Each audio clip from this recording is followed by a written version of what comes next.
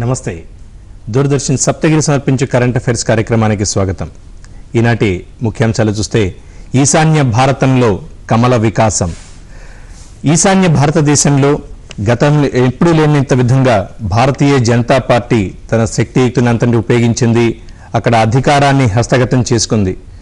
ఇక కమ్యూనిస్టుల కంచుకోటగా పేరొందినటువంటి మాణిక్ సర్కార్ పాలించినటువంటి త్రిపుర లాంటి రాష్ట్రాలు కూడా భాజపా ఖాతాలోకి వెళ్ళిపోయినటువంటి పరిస్థితిని చూసాం సో అసలు ఇక్కడ పరిస్థితి ఎలా ఉంది? ఈ బీజేపీ మానియా బీజేపీకి నరేంద్ర మోదీ గారు అమిత్ షా ద్వయం చేసినటువంటి మాయాజలంగా చూడాలా? లేకుంటే అక్కడ ప్రజలు తీసుకున్నటువంటి ఒక తీర్పు ఏ విధంగా ఉంది అనేది మీద చర్చా కార్యక్రమం కొనసాగిద్దాం. ఈనాటి ఈ చర్చా కార్యక్రమంలో డాక్టర్ దుగ్గిరాజ్ శ్రీనివాస్ గారు రాజకీయ విశ్లేషకులు అలాగే ఎన్ విష్ణుశ్రీ గారు భాజపా రాష్ట్ర కార్యనిర్వాహక సభ్యులు. ఈరోజు మనతో స్టూడియోలో జాయిన్ అయ్యారు. నమస్తే శ్రీనివాస్ గారు. నమస్తే విష్ణుశ్రీ గారు. శ్రీనివాస్ గారు ఈరోజు చూస్తే చాలా స్పష్టమైనటువంటి తీర్పునిచ్చారు ఈశాన్య భారతదేశ ప్రజలు. ఆ, ఎందుకని అంటారు ఈ మార్పుని ఎలా చూడొచ్చు? అంటే భారతీయ జనతా పార్టీకి అనుకూలంగా చూడాలా? లేకుంటే అక్కడ ఉన్నటువంటి సుదీర్ఘకాలం పాలించినటువంటి సిపిఐకి వ్యతిరేకంగా జరిగినటువంటి ఓటింగ్గా చూడాలా? ఈ ఓటింగ్ సరళిని ఎలా చూడొచ్చు? ప్రజలు అన్ని రాష్ట్రాల్లో కూడా అధికార పార్టీకి వ్యతిరేకత పెరుగుతోందండి. అన్ని రాష్ట్రాల్లో ఉంది ఇది త్రిపురలో కూడా ఉంది.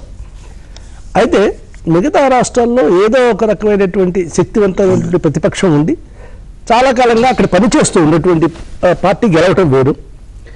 కాకుండా త్రిపురలో అసలు బీజేపీ అనేది ఒక కౌన్సిలర్ కూడా లేడు ఒక మున్సిపల్ కౌన్సిలర్ కూడా లేని చోట హఠాత్తుగా ఒకటి పాయింట్ మూడు శాతం నుంచి నలభై మూడు శాతానికి ఓటు తీసుకువెళ్ళటం అంటే నలభై ఐదు శాతం దాకా వెళ్ళింది వాళ్ళ మిత్రులను కూడా కలుపుకుంటే. అది మాత్రం చాలా గొప్ప విజయం అండి.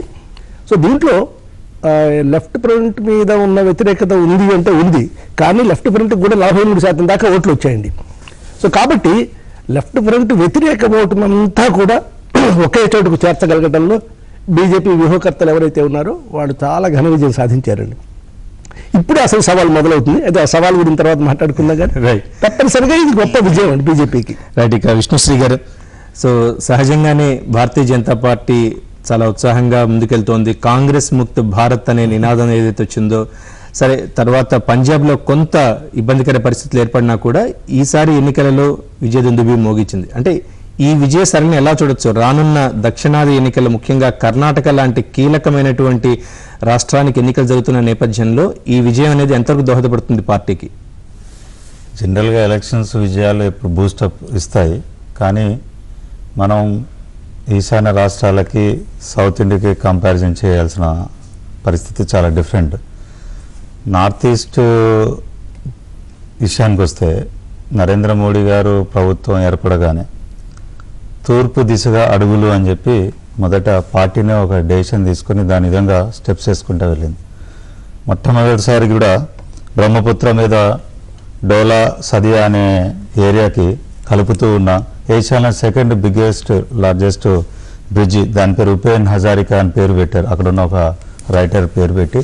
అంటే థర్టీ పర్సెంట్ అప్పటికే కంప్లీట్ అయింది. కాంగ్రెస్ వాళ్ళు మేము చేసామంటారు అయితే వన్ అండ్ హాఫ్ ఇయర్లోనే మిగతా సెవెంటీ పర్సెంట్ బ్రిడ్జిని కంప్లీట్ చేసి అస్సాం బేస్ నుంచి అరుణాచల్ వైపు మంచి అట్లా డెవలప్మెంట్ ఆస్పెక్ట్లో ముందు అడిగేశారు. అట్లనే భారత్ మియన్మార్ థాయిలాండ్ కలుపుతూ పద్నాలుగు వందల కిలోమీటర్ల రోడ్డు ఇంకా నెక్స్ట్ టూ థౌజండ్ నైన్టీన్ డిసెంబర్కి అయిపోతుంది. అది అది కనుక కంప్లీట్ అయితే దిశ దశ మహర్దశ పడుతుంది నార్త్ ఈస్ట్కి అంటే ఇవన్నీ కంపారిజన్ ఎందుకు చెప్తున్నా అంటే ఈ డెవలప్మెంట్ నార్త్ ఈస్ట్కి డెవలప్మెంట్ అనేది ఎప్పుడూ లేదు.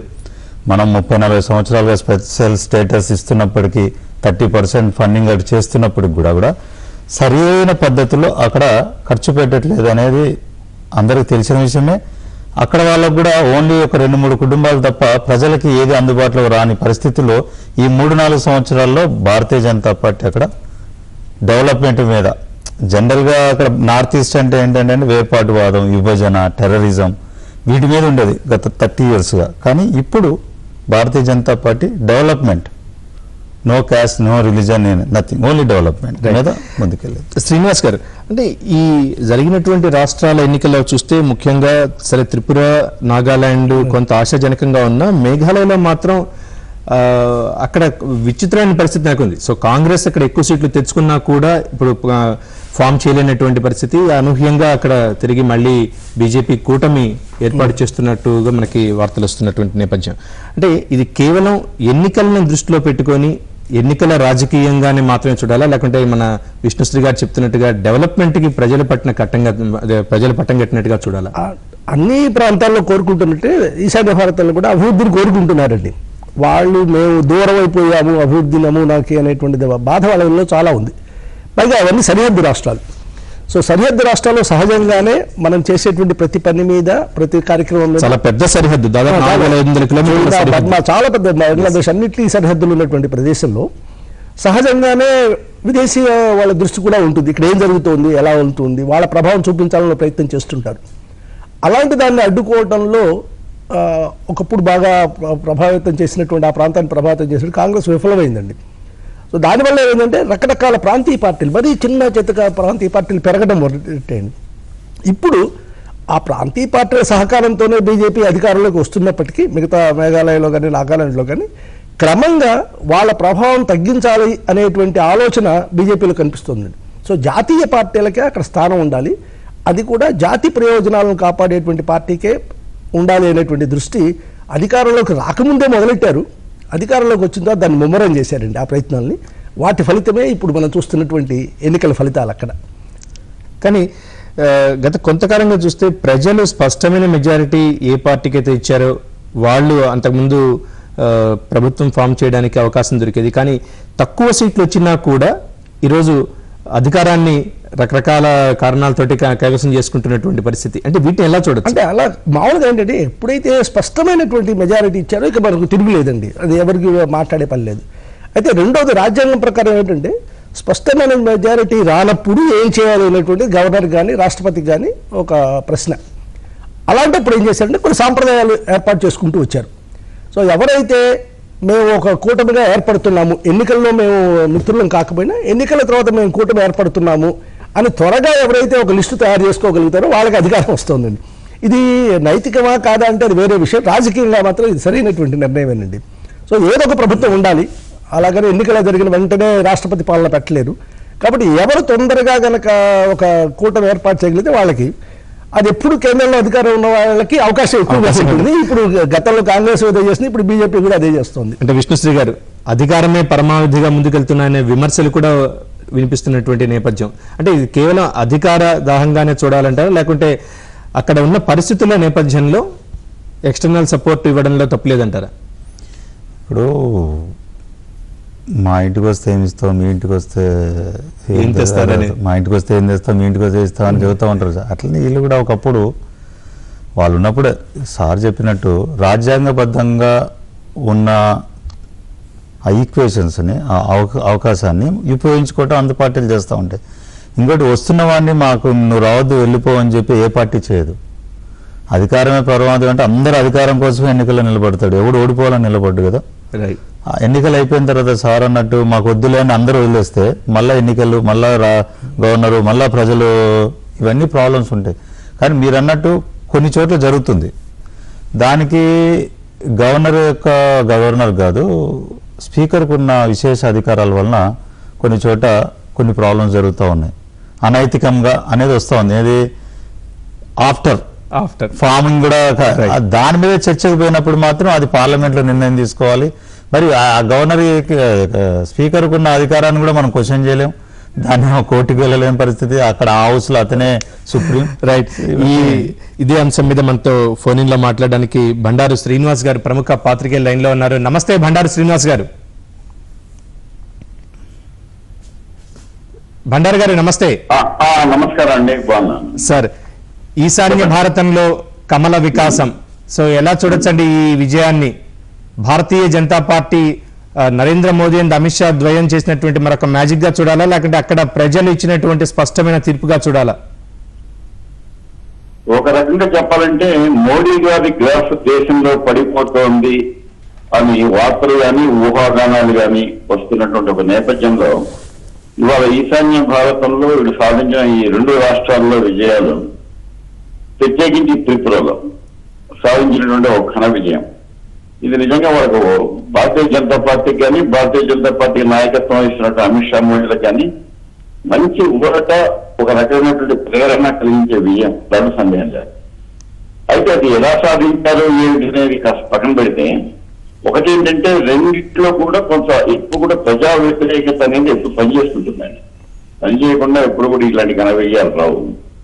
ప్రజా వ్యతిరేకత ఏ స్థాయిలో ఉందని దాన్ని బట్టి ఆ ఘనవిజయ స్థాయి కూడా నిర్ణయించబడుతుంది. అక్కడ త్రిపురలో ఏంటంటే అక్కడ మంచి ముఖ్యమంత్రి మామూలు అసాధారణమైనటువంటి ప్రజాస్వామ్యంలో ఎక్కువ కనీ విని ఎరుగని ఒక నైతిక విలువలు కలిగినటువంటి ఒక ముఖ్యమంత్రి మామూలు ముఖ్యమంత్రి కాడు ఆయన మాణిక్ సర్కార్ గారు. చూపెట్టాడు ఇలా ఉండాలి రాజకీయం అంటే ఇలా ఉండాలి రాజకీయాలు ఇలా కూడా చేయొచ్చు పార్టీలు ఇలా కూడా పరిపాలించవచ్చు అని చెప్పి నిరూపించినటువంటి ఒక ముఖ్యమంత్రి ఆయన. దాదాపు పాతిక సంవత్సరాలు అక్కడ వేళ్ళు పోయినటువంటి పార్టీ అది. మరి అక్కడ ఎందుకు వచ్చింది అపజయం? ఎందుకు ఈ స్థాయిలో ఘోరమైనటువంటి పరాజయాన్ని ఎందుకు మూటగట్టుకోవాల్సి వచ్చిందంటే ప్రజల్లో ఒకటంటే ఒక మనస్తత్వం ఉంటుంది. నేను ఎందుకు చెప్తున్నానంటే నేను మాస్కోలో ఒక ఏడు నుండి వచ్చానండి ఎప్పుడు కమ్యూనిస్ట్ పరిపాలనలో ఉన్నప్పుడు మాస్కోలో ఒక రేడియో మాస్కోలో పనిచేశాను. వాళ్ళకి అన్నీ ఉన్నాయండి. లేనివంటే లేదు. సామాన్యమైనటువంటి వాడు మామూలు అసామాన్యమైన జీవితం గడపడానికి వీలైన అన్ని వసతులు కల్పించారు. డెబ్బై ఏళ్ళ పాటు అది అవిచ్ఛిన్నంగా సాగిపోయింది ఆ కమ్యూనిస్ట్ పరిపాలన.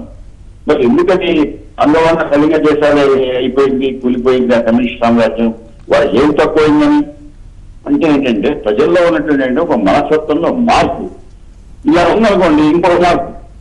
మంచి దాంట్లో ఉన్నా కూడా ఇంకా మంచిగా పోతామని బండారు గారు. ఇంకేదైనా జరిగితే ఇంకేదైనా మార్పు వల్ల మనకి ఏదైనా మంచి జరుగుతుందేమో అని ఒక ఆశ. బండారు గారు అంటే ఈ మార్పు అనేది దేనికి సంకేతంగా చూడొచ్చు? రానున్నటువంటి కర్ణాటక వైపు లేకపోతే మిగతా రాష్ట్రాల ఎన్నిక దక్షిణాది వైపు కూడా ఈ మార్పు అనేది స్పష్టంగా కనిపించే అవకాశం ఉందంటారా భవిష్యత్తులో?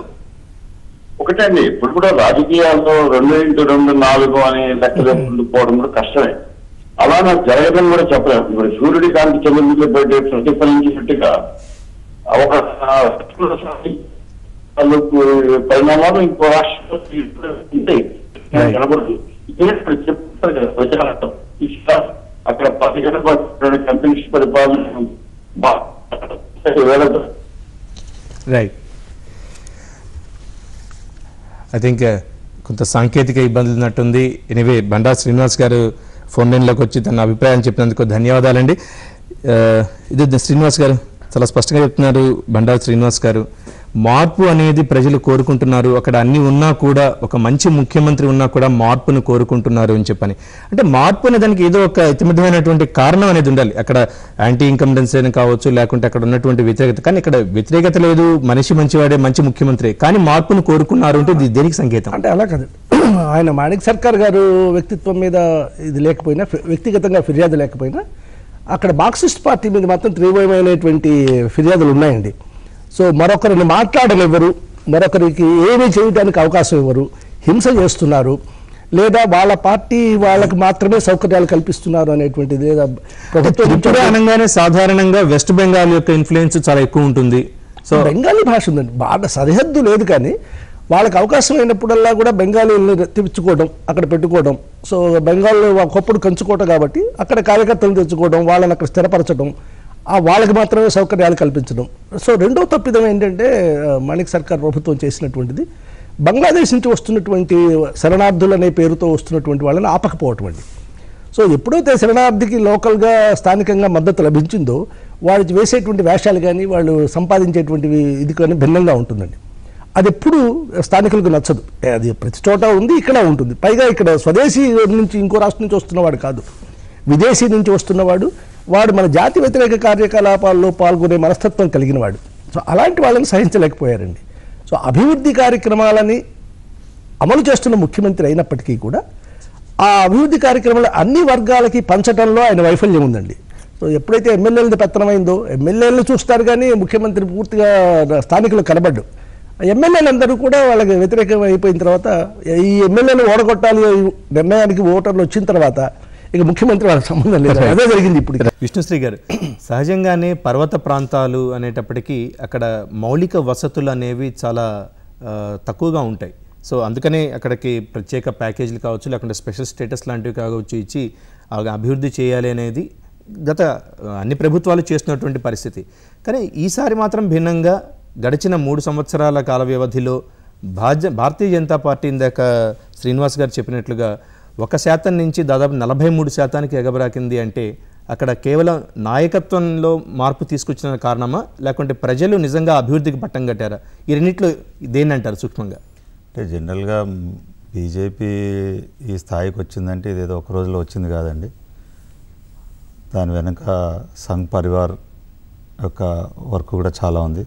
వనవాసీ కేంద్రాలు అని చెప్పి అట్- ఎక్కడో ఇంటీరియర్ ఏరియాలోకి వెళ్ళి అక్కడ ఎడ్యుకేషన్ మీద హెల్త్ మీద చాలా ఎడ్యుకేట్ చేస్తూ అంటే అక్కడ భారతీయ జనతా పార్టీ మొత్తం కూడా ఈ సంఘ్ పరివార్ లాంటి కొంత అతివాద శక్తుల చేతిలో కేంద్రీకృతమై ఉన్నది అనే ఒక వివాదానికి ఇప్పుడు ఈ కామెంట్ తోటి బలం చేకూర్చినట్టు అవుతుందా?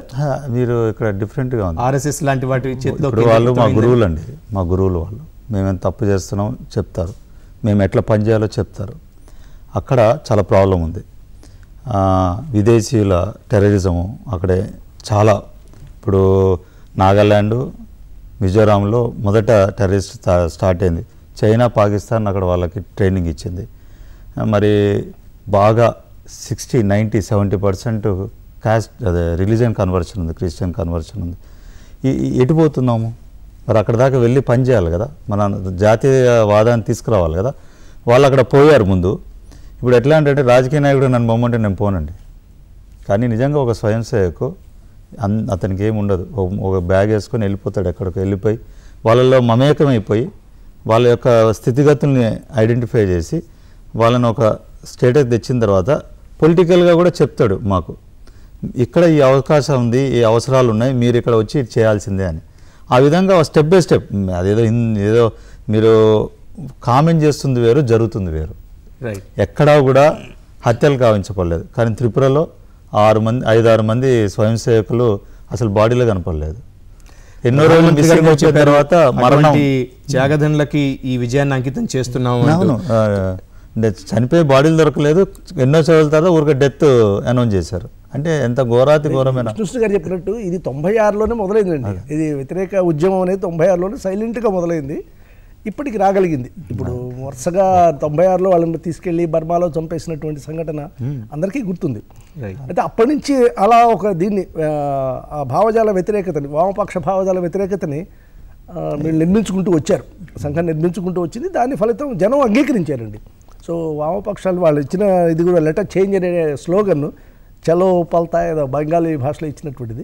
అది ఇప్పుడు జనానికి నచ్చింది. అంటే ఎక్కడైనా సరే అండి మనం పంతొమ్మిది వందల ఎనభై మూడులో ఆంధ్రప్రదేశ్లో చూసినప్పటికీ కూడా అధికారంలో ఉన్న వాడి మీద విసుగు పుట్టినప్పుడు వాళ్ళని ఒప్పించగలిగిన ప్రతిపక్ష నాయకుడు కావాలండి. అది కాంగ్రెస్ మీద వ్యతిరేకత వచ్చినప్పుడు రామారావు ఒప్పించగలిగాడు నేను ఇక్కడ ఉన్నాను మీ అందరినీ కూడగట్టుకు వెళ్తాను అని. అందువల్ల ఇక్కడ తెలుగుదేశం అనే పార్టీ కానీ ఈసారి చాలా అనూహ్యంగా అంటే సందర్భం వచ్చింది కాబట్టి అని చెప్పని ఒక పక్క ఏ స్టేట్లో ఎన్నికలు జరిగినా కూడా మోదీ అమిత్ షా ద్వయం దూసుకెళ్తోంది అక్కడ విజయాలను నమోదు చేస్తూ వస్తోంది. కానీ అదే స్థాయిలో దక్షిణ భారతదేశం ఉత్తర భారతదేశంగా రెండుగా చూస్తూ కొంతమంది నాయకులు ఇప్పుడు కమల్ హాసన్ పార్టీ పెట్టినా కూడా ఇది దక్షిణ భారతదేశానికి సంబంధించిన పార్టీ లోగోలో కూడా ప్రతిబింబిస్తున్నాం అని చెప్పడం.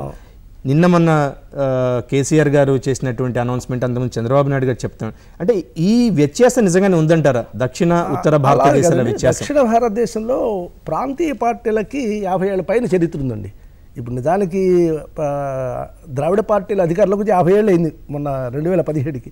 కానీ వాళ్ళు దాన్ని సెలబ్రేట్ చేసుకోవడానికి కూడా లేనంత దిగజారిపోయాయి రాజకీయాలు. సో ఇక్కడ ప్రాంతీయ తత్వం అనే అనలేం కానీ ప్రాంతీయ రాజకీయ పార్టీలకు మాత్రం ఎప్పుడో గత చాలా చరిత్ర ఉందండి. అందువల్ల ఇప్పుడు కొత్తగా ఒక రాజకీయ పార్టీ జాతీయ పార్టీ వస్తోంది అంటే కొంచెం భయపడతారు. ఒకసారి జాతీయ పార్టీ విషయాలకు వెళ్ళారనుకోండి జనం మళ్ళీ ప్రాంతీయ పార్టీ వైపు తొంగి చూడటానికి చాలా కాలం పడుతుంది. ఆ భయం ఎలాగ ఉంటుంది. అందుకని ఎప్పుడు కూడా శత్రువుని ముందే మనం అక్కడే ఆపేస్తే వింజకి అవతల ఆపేద్దామనే ఆలోచనలో ఇప్పుడు టీఆర్ఎస్ కానీ విష్ణుశ్రీ గారు ఇక్కడ మనం ఇటువంటి ప్రాంతీయవాదం అనేది ఈ ఫెడరల్ వ్యవస్థలో జాతీయవాదానికి కొంత గొడ్డలు పెట్టి కాదంటారా?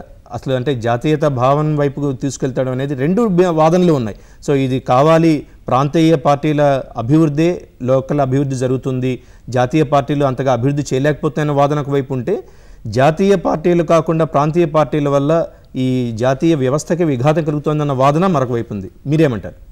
అంటే నేను పూర్తిగా ఏకీభవించాను కానివ్వండి ఇప్పుడు నేషనల్ జాతీయవాదానికి వచ్చేవరకే మనం బాగా అబ్జర్వ్ చేయాల్సింది ఏంటంటే నార్త్ ఈస్ట్ మనం ఇప్పుడు డిస్కస్ చేసాం. వాళ్ళు వాళ్ళకి ప్రాబ్లమ్స్ ఏంటి? మిడిల్ ఆఫ్ ద కంట్రీకి ఏముంది? మనకేముంది? ఇక్కడ మనం ఎప్పుడు ఫేస్ చేయలేదు. యుద్ధాలు ఏం జరిగినా పైన జరిగాయి. టెర్రరిజం ఏం జరిగినా పైన జరుగుతుంది. మరి వాళ్ళకి మనం కంపేర్ చేసుకున్నాం. అన్నిటికంటే దేశంలో కింద బాగా డెవలప్ అయింది. మిడిల్లో కొంచెం ఆ పైన అసలు లేదు. ఈ- ఈ ప్రభుత్వం వచ్చిన తర్వాత ప్రత్యేక హోదా అనేది ఇలాంటి కొన్నింటి వలన పెద్దగా ఉపయోగం ఉండట్లేదు. ఫండ్స్ ఇచ్చినా ఉపయోగపడట్లేదు అని ఆపారు. ఆపి ఇంకొక రకంగా తీసుకొచ్చారు. మీకు చాలా ఆశ్చర్యకరమైన విషయం ఏంటంటే నితిన్ గడ్కరీ గారు నార్త్ ఈస్ట్లో సౌత్ ఈస్ట్ ఉండే వాళ్ళు పోయి అక్కడ కాంట్రాక్ట్లు చేసేవారండి. వర్క్ తీసుకునే వాళ్ళు బ్యాంక్ లోన్లు తీసుకునే వాళ్ళు వర్క్ చేసేవాళ్ళు కాదు. ఫిఫ్టీ సిక్స్టీ పర్సెంట్ పెండింగ్ పడిపోయాయి ఇట్లా చాలా ఇష్యూస్ అన్ని బేరీజ్ చేసుకొని ఇది ఇట్లా కాదు అని లోకల్ పీపుల్లో ఉన్న కాంట్రాక్టర్స్కి అతను పది కోట్ల రూపాయల ఎలిజిబిలిటీ ఉంటే నువ్వు ట్వంటీ ఫైవ్ క్రోర్స్ చేసుకో. అని ఎంకరేజ్ చేసింది ప్రభుత్వం. ఇప్పుడు ఎంత డెవలప్మెంట్ అవుతుందంటే అక్కడ ఆశ్చర్యకరమైన డెవలప్మెంట్ జరుగుతూ ఉంది ఇంకొక పదేళ్ళు ఇరవై ఏళ్ళకి వాళ్ళు కూడా హ్యాపీగా ఉంటారు. సో ఇలాంటి పరిస్థితుల్లో కింద వాళ్ళు "ఆ, మీరు అక్కడే చేస్తున్నారు. ఇక్కడ చే మన మనం వాళ్ళకంటే ఒక టూ హండ్రెడ్ ఇయర్స్ బిఫోర్ ఉన్నామండి. దాన్ని మన వీళ్ళు కంపేర్ చేయకుండా South India feeling North India feeling ఇట్లా డివిజన్ ఎన్నికల జిమ్మిక్కుల కోసం తప్ప అల్టిమేట్గా దీనివల్ల ఏం ఉపయోగం లేదండి. అందరం రాజ్యాంగబద్ధంగా ప్రజల్లో వస్తున్నటువంటి వ్యతిరేకత నాయకుల్లో వస్తున్న వ్యతిరేకతని పరిగణలోకి తీసుకోకుండా ఏకపక్షంగా కేంద్ర ప్రభుత్వం వెళ్తోంది అనేటువంటి వాదన కూడా ఉంది. దీన్ని మీరు సమర్థిస్తారా? నే ఇది రాజకీయ నాయకులు వాళ్ళ యొక్క పార్టీ యొక్క ఇంట్రెస్ట్ మీద జనాలను రెచ్చగొట్టడం తప్ప నేనైతే అసలు పూర్తిగా ఏకీభవించనండి. శ్రీనివాస్ గారు దీన్ని అంతగా తీసిపారేయలేం. ఎందుకంటే ఒక తెలంగాణ కావచ్చు లేకుంటే ఆంధ్రప్రదేశ్ కావచ్చు లేకుంటే మిగతా రాష్ట్రాలు కావచ్చు. ఇప్పుడు ఆల్మోస్ట్ కేసీఆర్ గారు అనౌన్స్ చేసిన తర్వాత అనూహ్యంగా అన్ని రాష్ట్రాలు కూడా బహిరంగ మద్దతు తెలుపుతున్నటువంటి పరిస్థితి. సో ఇది భవిష్యత్ రాజకీయం వైపు ఎటువంటి మార్పుని తీసుకొస్తుంది? భవిష్యత్ రాజకీయం ఎలా ఉండబోతుంది?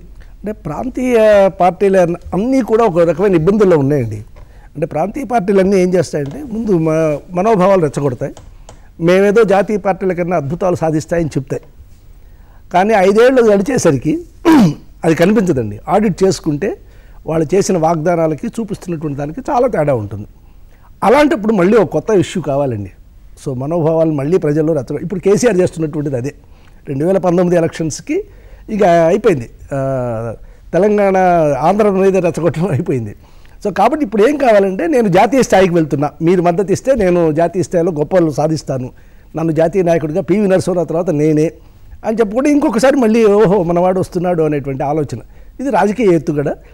రాజకీయ ఎత్తుగడలు అన్ని పార్టీలు వేస్తాయి కేసీఆర్ వేస్తున్నాడు ఇంకొకరు కూడా వేస్తారు. కానీ ఇక్కడ వాస్తవంగా నాయకులు చెప్తున్నది దక్షిణ భారతదేశానికి నిధుల కేటాయింపులో కానీ బడ్జెట్ అలొకేషన్స్లో కానీ సుదీర్ఘకాలం నుంచి అది ఏ ప్రభుత్వమైనా కానివ్వండి బీజేపీ ప్రభుత్వం కావచ్చు కాంగ్రెస్ ప్రభుత్వం కావచ్చు మరేదైనా కావచ్చు తీరని అన్యాయం జరుగుతోంది. ఇక్కడ మనకు సరైన అలొకేషన్స్ జరగట్లేదు. సో అభివృద్ధికి దూరం అవుతున్నాం అనే వాదన కూడా ఉంది. ఒక్క నిజంగా చెప్పుకోదలుచుకుంటే ఇప్పుడు ప్రజెంట్గా ఉన్న ఆంధ్రప్రదేశ్కి తప్పించి మిగతా రాష్ట్రాలు ఆ ఫిర్యాదు చేయడానికి లేదండి. సో తమిళనాడులో ఉన్నన్ని పరిశ్రమలు కానీ తమిళనాడు పొందినటువంటి లబ్ధి కానీ కేంద్రం నుంచి రకరకాల కారణాలు వాళ్ళకి బాగా ప్రభావితం చేయగలిగిన మంత్రులు కేంద్రంలో ఉండటం కానివ్వండి రాజకీయంగా లేదా వాళ్ళకి ఐఏఎస్ ఆఫీసర్స్ మొదటి తరం అంతా కూడా వాళ్ళు ఉండటం వల్ల తమిళనాడు మాకు కేంద్రం నుంచి ఇది లేదు అనేటువంటిది అంగీకరించే విషయం కాదండి. అలాగే కేరళ కూడా. సో ఇప్పుడు ఆంధ్రప్రదేశ్ చేయడానికి ఉంది రాష్ట్ర విభజన. ఏవీ కేంద్రం సహాయం చేయకుండానే హైదరాబాద్ అంత గొప్ప నగరంగా తయారైందని కానీ బెంగళూరు అంత గొప్ప నగరంగా తయారు ఇప్పుడు కేవలం చెప్పడం తప్ప ఇక్కడ ఇంకొక స్పష్టమైనటువంటి ఆరోపణ కూడా ఉంది. ఎన్ని కేవలం ఎన్నికల ఆ, సరళిని దృష్టిలో పెట్టుకొని ఈశాన్య భారతానికి విపరీతమైనటువంటి నిధులను ఇచ్చారు. అక్కడ అభివృద్ధిని అంతా అభివృద్ధి మంత్రం చూపించారు. ఇప్పుడల్లా ఎన్నికలు లేవు కాబట్టి అసలే విభజిత ఆంధ్రప్రదేశ్ బాధపడుతున్నా కూడా ఇటువైపు చూడలేదు అనే ఒక విమర్శ కూడా ఉంది. విష్ణుశ్రీ గారు. ఇప్పుడు ఏదైతే డెవలప్ అయిందో అది చూపించట్లేదండి ఇప్పుడు రైల్వేస్కు గత మూడు సంవత్సరాలుగా పన్నెండు వేల కోట్లు ఇచ్చారు. కాదు కదా, మొత్తం భారతదేశానికి మన ఆంధ్రప్రదేశ్కి చెప్తున్నా. మూడు సంవత్సరాల్లో పన్నెండు వేల కోట్లు డెవలప్మెంట్ జరిగింది. చెప్పరు ఎవరు. కొత్త లైన్లు అసలు చ- ఆశ్చర్యకరమైన ఇరవై ఆరు ట్రైన్లు ఇచ్చారు. ఎవరు మాట్లాడరు. ఏదైతే ఇన్ఫ్రాస్ట్రక్చర్ డెవలప్మెంట్ కోసం చేస్తుందో అది మాట్లాడరు. ఏ ఇప్పుడు మనం మనకున్నది మన ఆంధ్రప్రదేశ్ ఇష్యూ వచ్చేవరకే ఓన్లీ మనకి ప్రాబ్లం లోటు బడ్జెట్ అన్నదే అండి. అది టూ ఇయర్స్ తర్వాత కంట్రోల్ అయిపోయింది. ఇప్పుడు లోటు బడ్జెట్లో లేం. ఆ మాట ఎవడు మాట్లాడు ఆ రోజు అనౌన్స్ చేశారు కదా అంటారు. ఆ రోజు ఉన్న పరిస్థితులు వేరు ఈ రోజు ఉన్న పరిస్థితులు వాళ్ళు ట్యాక్సేషన్ పె పెంచిన తర్వాత డివల్యూషన్ వచ్చిన తర్వాత థర్టీ టూ నుంచి ఫార్టీ అన్ని రాష్ట్రాలకు ఇస్తున్నారు కదా మనకి ఇస్తున్నారు కదా అంటారు. అంటే ఇప్పుడు మనం అన్ని రాష్ట్రాలతో పాటు డెవలప్ అవ్వాలన్నది ఒకటి ఉండాలి. మనకున్న ఈ చిన్న ప్రాబ్లమ్స్ చిన్న బడ్ ఏదైతే మార్జిన్ ఉందో అది కేంద్రంతో తీసుకోవాలి. అంతేగాని మొత్తం కేంద్రం మీద వదిలేసి సమయాభావం వల్ల శ్రీనివాస్ గారు మీరు చాలా క్లుప్తంగా చెప్పండి.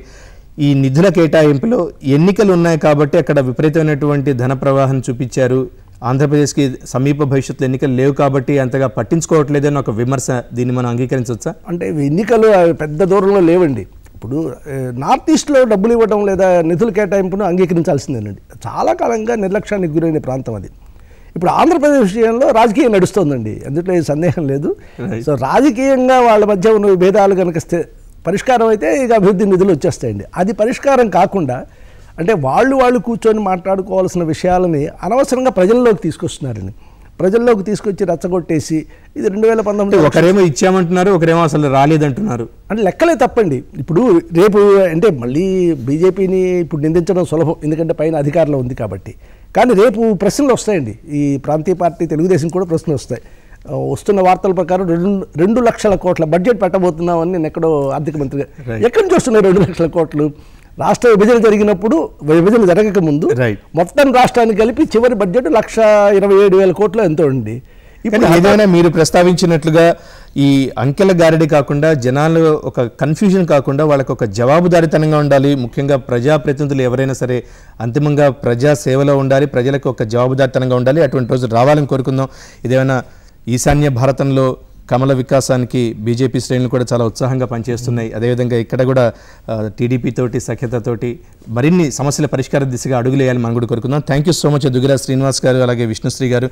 ఫోన్ లైన్లో మనకు అందుబాటులోకి వచ్చినటువంటి బండారు శ్రీనివాస్ గారికి కూడా ధన్యవాదాలు. ఇది ఇవాళ ప్రత్యేక చర్చా కార్యక్రమం. మరొక కార్యక్రమం మళ్ళీ కలుద్దాం. నమస్తే. నమస్కారం.